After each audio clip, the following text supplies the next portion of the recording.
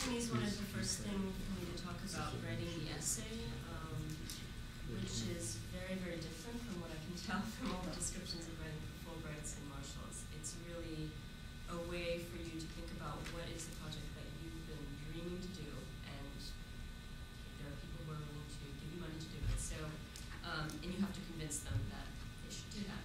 Um, I would say first piece of advice is to start writing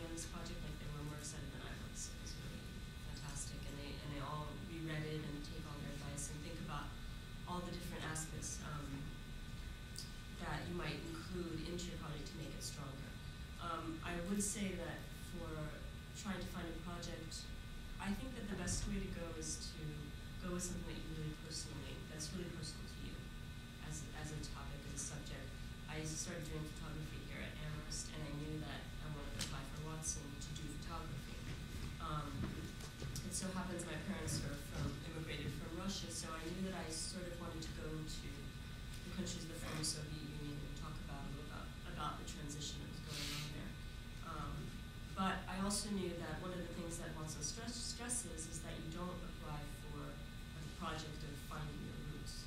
So that's Mm-hmm. something that's really important to think about.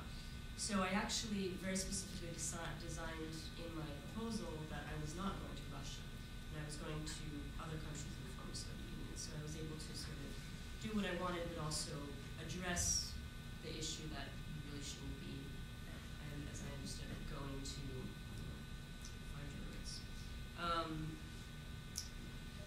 say that there are a lot of, um, it's a very, very free form fellowship. You don't have a lot of support necessarily once you're there.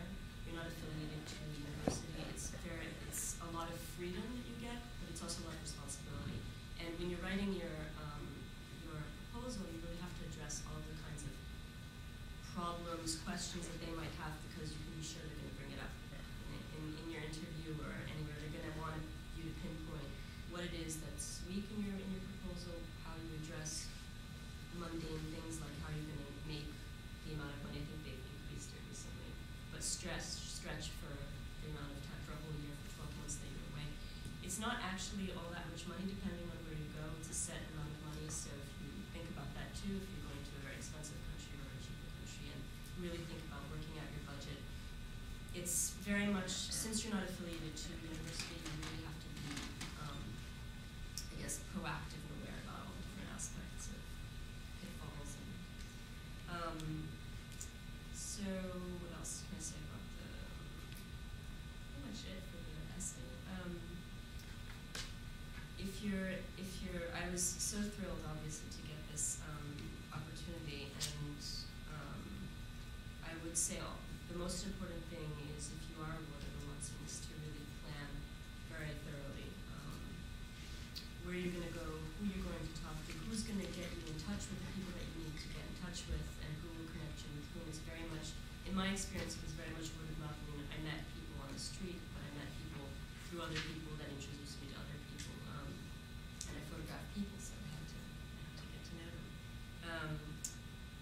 so I would say that um, your comfort levels are really going to be challenged. Um, of course, that depends where you go, but just be, you're cut off really from everything, so you do have to be aware. You, you're not even allowed to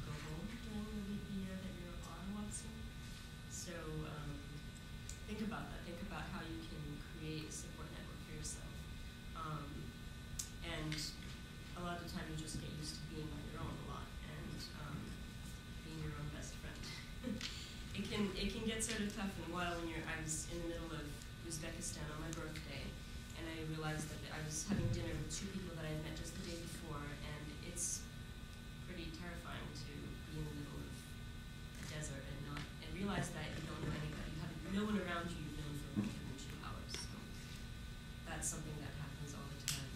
Um, my particular project involved a lot of traveling. Um, not everyone travels as much as I did. My project, of did involve that. But think about that too in terms of how you want to organize your project. Um, if you're somebody who doesn't like to be traveling around all the time with backpack on your back, think about specific places that you'd like to go. You can spend longer amounts of times in one country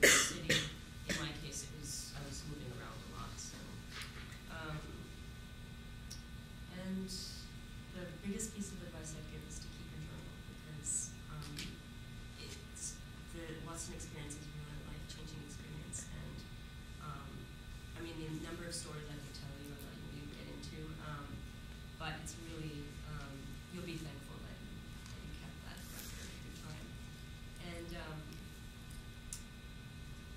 what else can I say a lot it's a lot of fun a lot of um, very um, rewarding. It's also extremely ch- emotionally challenging sometimes. I was in situations that, um, that I mean, I think that when you live in the U.S., you live in a, at Amherst, you spend four years at Amherst, you do realize how much you're sheltered and how much um, you're protected in this kind of environment. When you go out, it's really a shock sometimes. And I have to be very honest, it took me about a year to get over it emotionally. I it was that much of an emotional shock to come back. And, and most of all, to realize that you've changed so much, but back home no one's changed. So, but it is an amazing experience. That's it. Thank you. And do you think this, do, Um, are we gonna be It able, might, something can't? might not work. it's It might not work. Yeah, it's not showing up. Yeah, it's I use a map, so Um, is it not showing up? Yeah, it's not showing up on the. I don't know why. Send it to your website. Oh yeah. You can go to my website. What's your and website? what's your website? Okay, is it? Are we inter- are connected Yeah. here? To the internet? Yep. It's a good guess. Looking. Yeah. It is. Is it?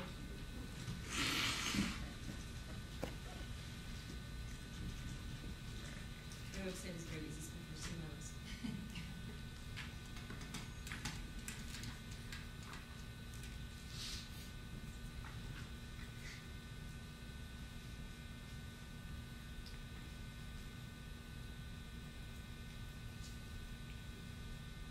So that first picture was from Estonia, this one is um, in Georgia. It's in Georgia as well. The country. This is in Armenia.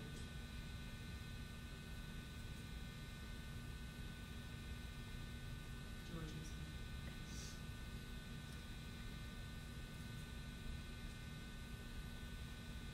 Chernobyl, Ukraine.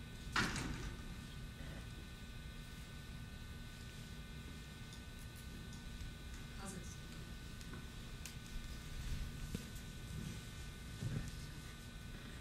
Ukraine, Ukraine. This was actually Russia. It's my cousin.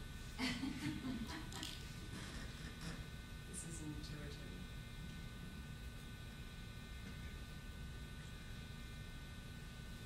It's the head of the Stalin Party in Georgia.